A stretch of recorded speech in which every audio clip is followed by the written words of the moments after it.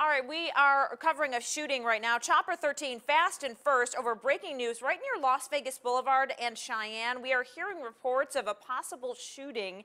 Now, we're still waiting on information from police, and of course, we'll bring that to you as soon as we get it. But you can see Chopper 13 over the area, police on the scene right now, and uh, we're just getting over it and taking a look around. And so we're going to keep you posted on this, and of course, uh, keep you updated.